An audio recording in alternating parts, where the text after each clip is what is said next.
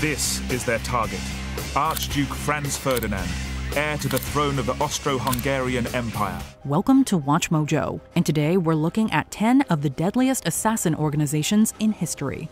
European born and fluent in German, some soldiers of the brigade became spies who worked behind enemy lines. For this list, we're looking at some of the most notorious organizations of killers throughout history. Which of these do you find the most intimidating? Let us know in the comments. Werwolf. In the later part of World War II, the Nazis recruited a force of commandos known as Werwolf or Operation Werwolf. It's estimated that up to 5,000 werewolves eventually enlisted. They consisted largely of discharged older soldiers. Although widely believed to be a guerrilla force meant to operate in Germany itself, Werwolf's original purpose was to operate behind enemy lines as the Allies advanced on Germany to create confusion. And then we would be able to stop them by killing them, creating confusion, cutting off their supplies, shooting them in the cover of night. However, Werwolf was later rebranded to use guerrilla tactics at home, despite being under-equipped and scattered. While pinning down exact actions committed by them is difficult, because fact and propaganda are often intertwined, many deaths of both Allied forces and collaborators within Germany have been attributed to Werwolf. However, the propaganda worked too well, leading to Allied reprisals against supposed Werwolf agents. The murderous reprisals by Nazi guerrillas proved to be only the first indication of the violent final days of the Third Reich. Vishakanya. India took its concept of femme fatales quite literally. The Vishakanya, or Poison Girls, were a semi-mythical order of female assassins from ancient India. First mentioned in the Arthashastra, a treatise on statecraft from the 3rd century BCE, the Vishakanya were reportedly young women who were raised on a steady diet of poisons, thereby rendering them immune to them and making their bodies poisonous to touch or through their own bodily fluids. Given that the archetype became a fixture of Indian literature, finding facts among the fictions can be tricky. However, it's clear that at some point in history, the Vishakanya were employed to kill powerful figures in India's distant past. The Sacred Band of Thebes.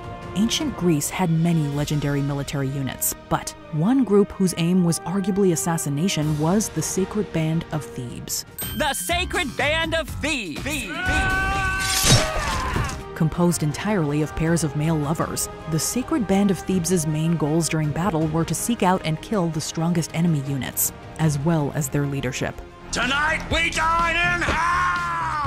Their deadly modus operandi was enough to turn the tide of battle when the Thebans faced overwhelming odds against the Spartans, multiple times at the battles of Leuctra and Tegyra. However, the Sacred Band met its end in battle against Philip II of Macedon, as well as his great son Alexander, fighting to the last man. Instead of pitting his fiercest fighters against the weakest opponents, Epaminondas flipped the script and attacked the strongest point of the enemy lines first. Nakam. Following the Holocaust, many survivors were understandably eager for revenge. A group of Jewish partisans, led by Abba Kovner, aimed to get an eye for an eye for what their people suffered. Even with the war over, some Jewish fighters decided to press on, forming their own group to hunt down fugitive Nazi war criminals. They were known as Nokmim, the Avengers. Although Nakam, or Revenge, is known to have executed many vengeful killings, the exact figures range anywhere from 300 to 3,000. However, two of their more ambitious plots failed. One plot, known as Plan A, was to poison millions of Germans, beginning at Nuremberg, by poisoning the water supply. On April 13, 1946, Easter Sunday, in an American POW camp in Nuremberg, Germany, hundreds of SS soldiers were mysteriously poisoned. However, after Kovner was arrested for unrelated charges, this fell through. Plan B, the killing of SS prisoners of war, was attempted too, but while thousands became ill, Plan B seemingly claimed no lives either. A year after the war ended, nearly 800 Nazis were eliminated. Shinobi, aka Ninja. Perhaps the most romanticized assassins on this list, Shinobi, better known as Ninja in the West, have taken on a mythological mystique. Following the principles of warfare, the ninja set out to find the warlord's weak spot. While covert agents have been used throughout the history of Japan, ninja were most active between the 15th and 17th centuries. Although generally employed as mercenaries to carry out surveillance, assassinations, and sabotage, several ninja organizations existed, mostly families or clans of trained shinobi. From a skilled master, a son or daughter learns the secrets of the ninja. While the exact record of how many ninja victims there have been is tough to determine, their attempts on the lives of major leaders like Oda Nobunaga and their employment during the Christian Shimabara Rebellion are well documented. It's believed that ninja were eventually recruited into Japan's modern clandestine organizations. Or maybe that's what they want us to think. Some founded schools of ninjutsu and taught the martial arts. Some became bodyguards. A few became bandits. Sicarii, one of the earliest known organized assassination groups. The Sicarii were a splinter group of Jewish zealots from the 1st century CE. The Sicarii are one of the only guerrilla groups never to bow to the might of the Roman Empire. In response to the Roman occupation of Judea, the Sicarii would carry out organized clandestine attacks on Romans and their sympathizers among the local populace. Their name is derived from their choice of weapons, Sicae, or small daggers.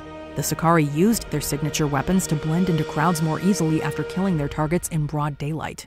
They would go in broad daylight, they go to the market. They also participated in more open acts of rebellion in cities like Masada and Jerusalem, and committed several atrocities against people of all religions.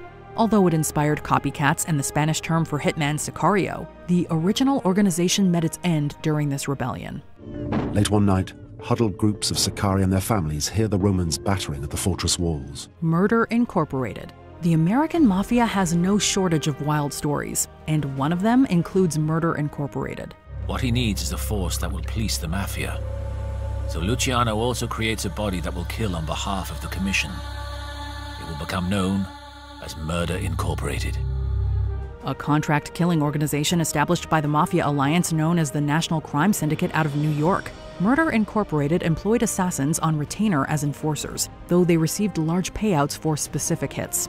Active from 1929 to 1941, Murder Incorporated executed somewhere between 400 and 1,000 contract killings.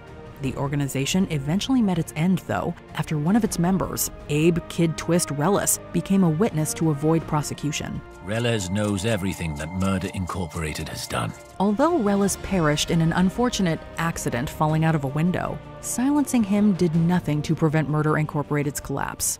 So, with Luciano behind bars, the Commission disbands Murder Incorporated and relegates Anastasia to a lowly underboss position. 47 Ronin. They were the elite, the special forces of medieval Japan, ruled by an ancient code. Most of these organizations have broad targets, but the 47 Ronin had just one.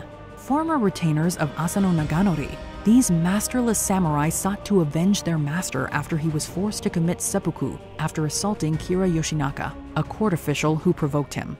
Just six hours after his fateful attack on Kira, Asano is facing the traditional end of the samurai warrior. After supposedly disbanding and taking up other professions, the 47 Ronin gathered and assaulted Yoshinaka's residence, killing over a dozen guards and wounding more. They ultimately killed Yoshinaka after he refused to commit seppuku himself. All but one of the Ronin chose to undergo the ritual death themselves after avenging their lord. Tales of the 47 Ronin have remained popular in Japan, to the point where they even have their own subgenre, called Chushingura. Today, Lord Oishi and his followers are still celebrated as symbols of ultimate loyalty and are honored as heroes in Japan. The Black Hand, aka Unification or Death. Arguably the most famous organization of assassins in the 20th century, the Black Hand, also known as Unification or Death, was a Serbian not so secret society. This is the Black Hand Gang. Their primary goal was the unification of all ethnic Serb territories, including Bosnia and Herzegovina, which were annexed by Austria Hungary. While the group's members directly carried out the assassinations of Serbia's royal couple in 1903 in the May coup, they're perhaps most known for providing supplies and facilitating the assassination of Archduke Franz Ferdinand in 1914.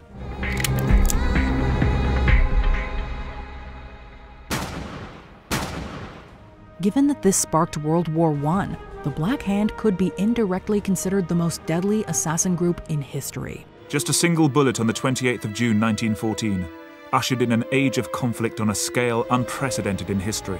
Before we continue, be sure to subscribe to our channel and ring the bell to get notified about our latest videos. You have the option to be notified for occasional videos or all of them. If you're on your phone, make sure you go into your settings and switch on notifications. The Order of Assassins. The word assassin comes from somewhere, and it's here.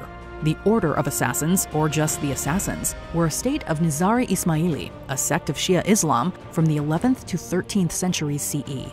Spread throughout the mountains of Persia and later Syria, the assassins fought mostly to protect themselves. The assassins didn't create a culture of political violence, they were created by it. However, due to their lack of manpower, they mostly targeted the leaders of their enemies instead of waging open warfare, though they also sometimes took on contract killings. In this way, over their centuries of existence, the assassins killed hundreds, with religious leaders of various faiths being their biggest targets.